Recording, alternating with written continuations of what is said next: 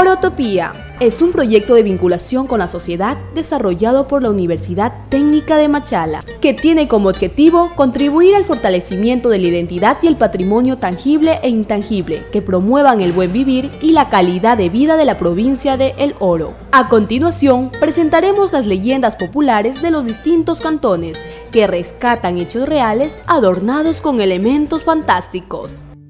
La leyenda de Chillacocha. Cuenta que esto sucedió hace mucho tiempo.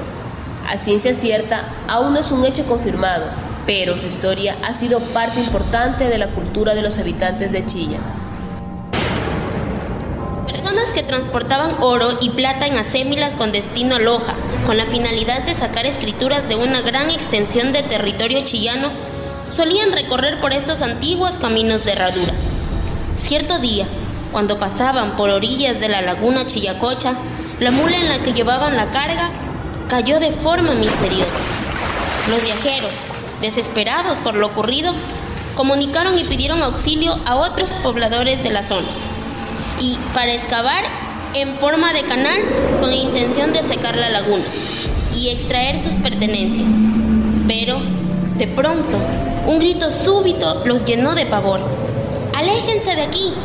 Y seguidamente cayó una enorme piedra sobre la laguna, lo que impidió continuar con el trabajo que iniciaron.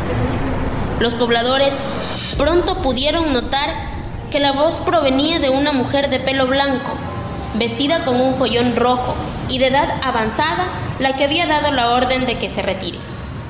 Otros testimonios cuentan historias similares sobre este personaje que cuida la laguna y que suele aparecer de vez en cuando. Escuchemos qué nos pueden decir los moradores de esta ciudad acerca de esta leyenda.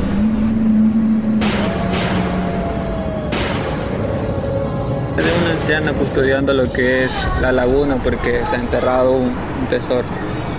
Y cerca de la laguna. Estaba con un grupo de amigos, estábamos caminando, así conversando, charlando y de repente escuchamos así como que un estruendo. Pensábamos que era un animal, pero después se se escuchó más fuerte, pensamos que era el viento por, por las hojas y los árboles, pero al final escuchamos como que una voz ahuyentándonos, diciéndonos fuera, aléjense.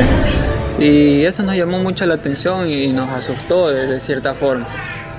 Y esa fue la experiencia que tuvimos cerca a la laguna, de, de ese temor, esa, esa angustia. Mi abuelita me decía que ahí este, bañaba, se bañaban ellas, sus hermanas, y era muy saludable.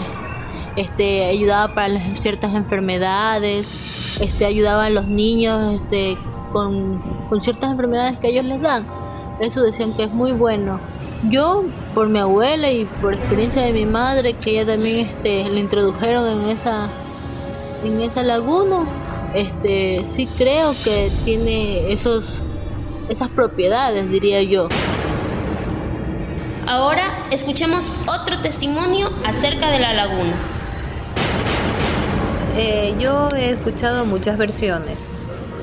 Mi mamá me contaba de que eh, nadie podía acercarse ahí en la noche porque se escuchaban como unas voces también mi mamá me comentó de que hace muchos años una pareja se bañaba tranquilamente, eran unos expertos nadadores y sin embargo murieron ahogados.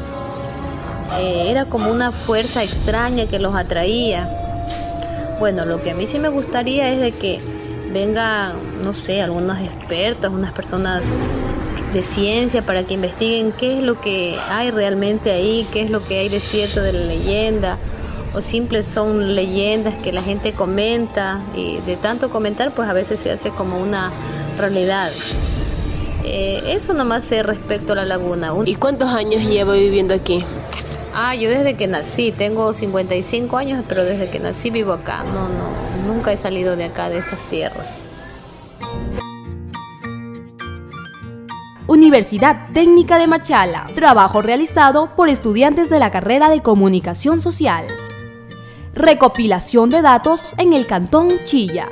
Orotopía, rostros, magia y encanto.